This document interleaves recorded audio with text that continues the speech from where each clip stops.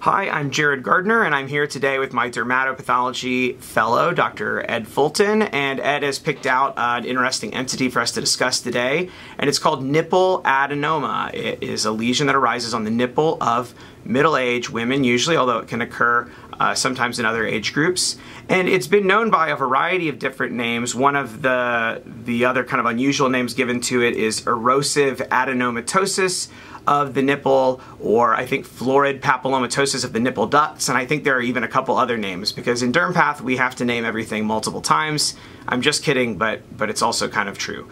Um, in any case, you can tell right here from this slide, this is normal skin by the way, that we're looking at nipple. And the way you can tell is that there are big bundles of smooth muscle, large smooth muscle bundles uh, down here in the deep dermis. Way too many for normal skin. Way more than you would see like for the erector pili muscle. And if you need a refresher on what normal skin looks like, you can check out my normal skin histology video. I'll put a link in the upper right hand corner of this video and you can watch that if you need a refresher on skin histology. But if you see um, a bunch of smooth muscle bundles in the dermis, my mentor Jay Rowe would always say that it's one of three places. It's either the nipple, or the vulva or the scrotum. And the vulva and scrotum are uh, homologous embryologically and they have a lot of smooth muscle bundles in the dermis too. But the difference is that those smooth muscle bundles in the genital sites are very small. Many, many of them, but they're very small. And in the nipple, they're large bundles. So you can almost always look at a slide like this and say, this is nipple. If this is normal skin, this is from the nipple. All right, so that's not the lesion, but here's the lesion that we have. And I apologize, uh, I'm not gonna be able to get it to be the right way up because of how it's oriented on the slide. But we've got a very cellular proliferation that's essentially filling the dermis of this kind of uh, wedge-shaped uh, biopsy here.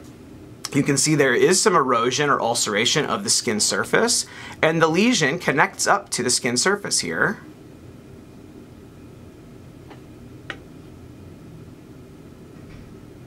It's a cellular epithelial um, uh, neoplasm and it's connecting focally to the surface. There's also some ulceration and erosion um, here with some, some pink fibrin in the bed of the ulcer.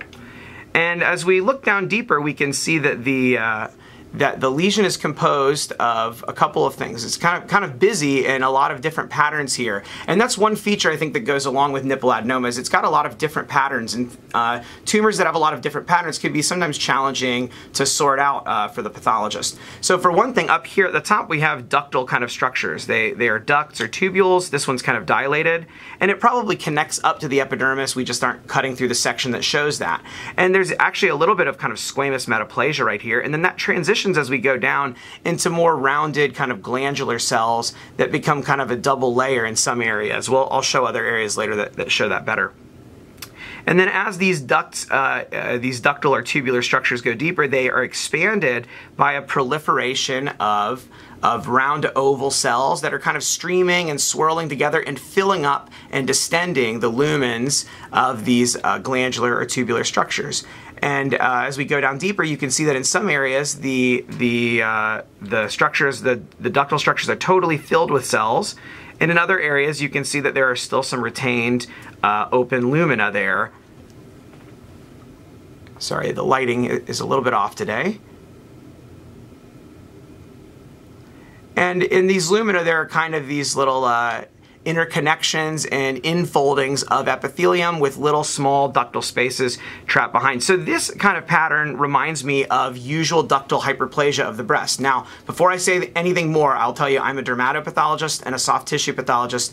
I do not do breast pathology and I have not done it since I was a resident. So, um, so I'm not, an, maybe not an expert at describing how breast pathology things look, but for this lesion, this reminds me, at least in my mind, of kind of a lot of the changes you see in usual ductal hyperplasia hyperplasia. And um, also some areas of this uh, nipple adenoma can uh, mimic what you see in uh, intraductal papilloma of the breast. So this is kind of how I conceptualize this lesion. And when you, uh, when you see here, I think this will be a good area to show. We'll go to high power. The, uh, the glandular spaces are lined by a kind of a double layer. In some areas, though, that double layer gets very thick and, and there's a lot of ingrowth of uh, the epithelium, but you can see the outer layer here of myoepithelial cells. So the myoepithelial cells are retained, okay? You don't have loss of myoepithelial cells. The myoepithelial layer is retained, and then you have eosinophilic um, kind of cuboidal to columnar cells that are the inner um, apical lining of the glandular or tubular re regions. And you'll often see um, apocrine type uh, snouting uh, or decapitation on the, the surface of some of these cells. Let me see if we can find a good area that shows it. Well, now that I've said it, I won't be able to find it again. And then other areas do this. You can have infolding that really look kind of like papillae and little almost micropapillae folding in uh, to the lumen of the glandular spaces. And the, the gland lumens are, are really kind of complex and interconnected here. But again, they always have a retained myoepithelial layer and they lack severe cytologic atypia. Okay, they're, the cells are kind of big, but they're relatively bland uh, here.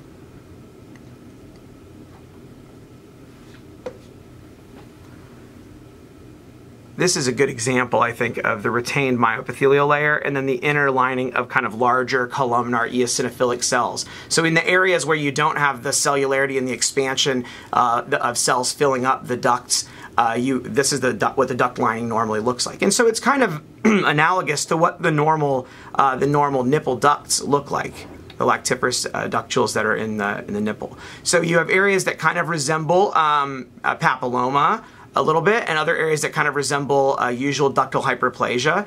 And this lesion though is, is uh, supposed to be relatively small, usually less than one centimeter or one and a half centimeters at the biggest.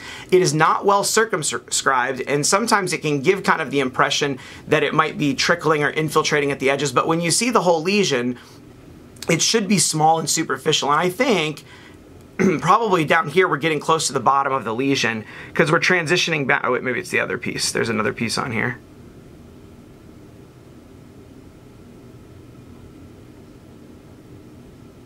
Now I'll never find it. Ah, here it is. you can see down at the bottom, we revert back to, these are the normal, I think the normal underlying uh, nipple ducts, and you can see how the tumor is kind of connecting to those and arising up above it.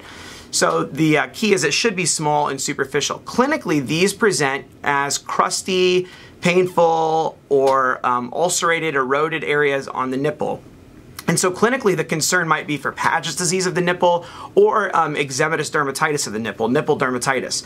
So um, a lot of times there's going to be a lot of worry clinically that this might be that this might be Paget's disease. And so when you see this, the important thing is to recognize that this is a benign entity. It's relatively uncommon in my experience and uh, that it's not cancer, it's not Paget's disease of the nipple, and it's not carcinoma, okay?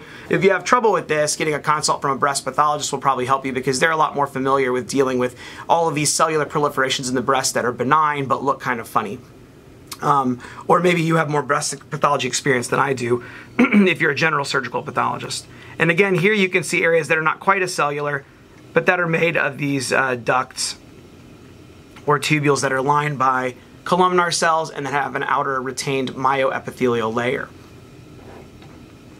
And um, the one thing I think that comes up is how do you treat this or deal with this? And from my reading, um, again, I don't see these very often, and from my reading, I feel like there's not a lot, not as much clarity in the literature as I would like. And so some people say that you should excise them, um, but then other people just say that they're benign and don't make comments. And so what I what I like to think and, and to recommend is that people maybe consider getting a consultation with a breast surgeon if there's any concern that this might be a larger, deeper uh, lesion, because what you don't want to miss is an actual like intraductal papilloma of the deeper breast ducts that's pushing up into the nipple because there are different um, surgical uh, and management considerations that come up with um, uh, a true intraductal papilloma. But if this is small and localized to the nipple, I think that it's uh, the the concept is that it should be benign and not problematic in the vast majority of cases. But I think that that's one of those things where you know doing extra surgery on the nipple is not a simple thing. It can it can have uh, some morbidity and side effects associated with it. And so I think that it's important to um, to get some consultation from people that have expertise in dealing with this.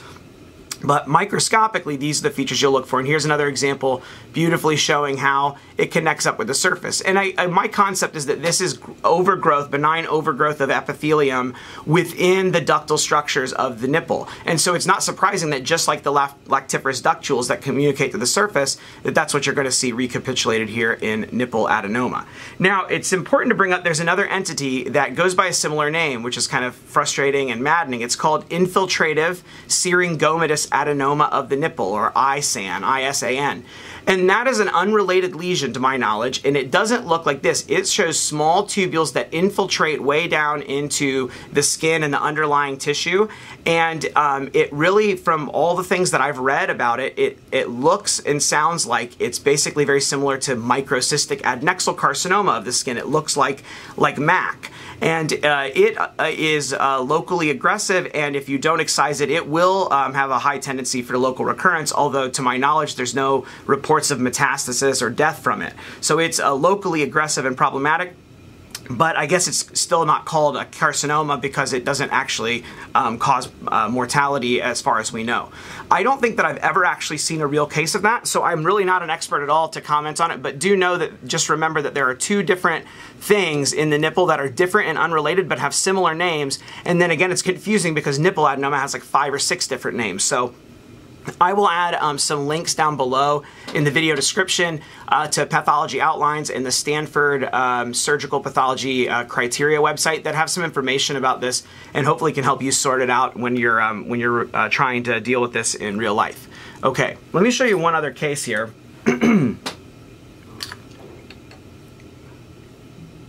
now here's a case that instead of being kind of a wedge or a punch biopsy is a shave biopsy from the nipple.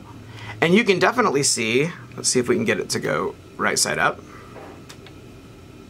you can definitely see here multiple connections to the surface. In fact, this reminds me a lot of, uh, from low power, of um, papilliferum, or SCAP. And I've got a video on that entity. Again, I'll put a link in the upper right-hand corner of this video. You can go watch that. It usually arises on the scalp in the setting of nevus sebaceous. So this is a different clinical setting, but it reminds me because you have multiple lumens opening up to the surface and that are kind of dilated up top. And as you go deeper, those lumens get more compressed and small.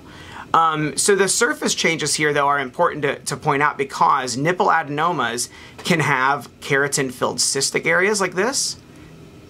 They can have um, so, some of the ducts, uh, particularly the dilated superficial areas and the cystic with cystic change, can have partial lining of squamous epithelium um, as it kind of merges with the overlying um, overlying uh, skin surface. So it's either squamous metaplasia or just involvement by the the uh, kind of transition from the the um, stratified squamous of the skin down into the ductal lining of the tumor.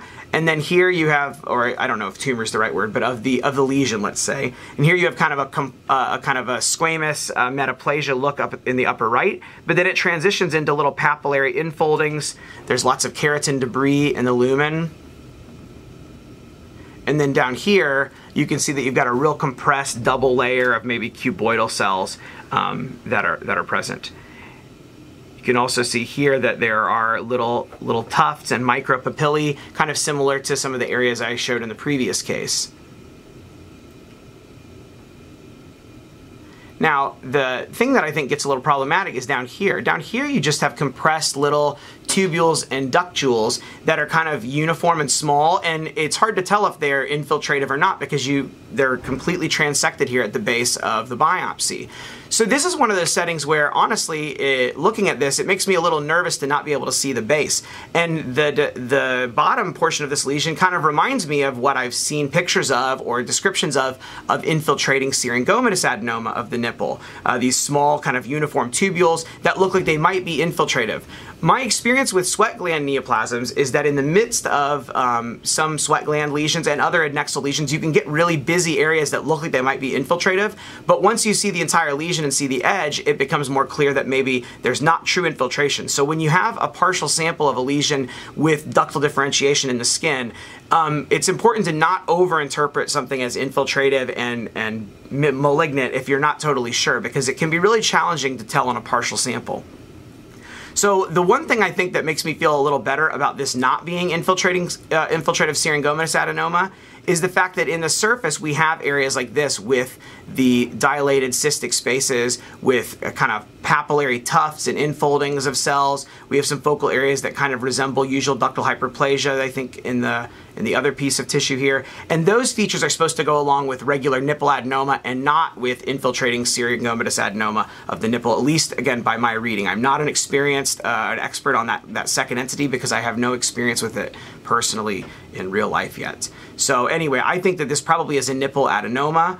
Um, and then again, whether or not to do an excision to see the base of this, I think that's a careful discussion that has to be had between the patient and the treating physicians and the pathologist to discuss what the, the risks and benefits are of doing that. And I think that's true of any time you're going to talk about doing um, a potentially problematic surgical excision on a, uh, a lesion that's not definitively malignant or that you think might be benign but you're not sure. It's always really important to have discussions carefully of risks and benefits. And it's and I often will put that in my consult reports, especially about unusual um, entities, that, to remind people that, that it is important to have the patient be involved in this conversation and to, to talk with the surgeon or the dermatologist about what the risks are and what the benefits are, and then to make an informed decision about their uh, care. And I think that's just good medical practice. So, so you have to treat things on a case by case basis. Um, I think that that's probably the best way for us to, to approach things. And having pathologists be involved in that discussion uh, with the treating physicians is um, a way that we can add value for our medical colleagues and for our patients. So I hope you like this video about nipple adenoma. Uh, please subscribe to my channel if you haven't yet and click the, the thumbs up button down below if you like the video. And also add comments or questions that you might have in the comment section, uh, particularly if you have experience with, uh, with nipple adenoma or infiltrative syringomatous adenoma uh, of the nipple. I'd love to hear from you and hear your thoughts and opinions about this entity as well. Thanks so much for watching.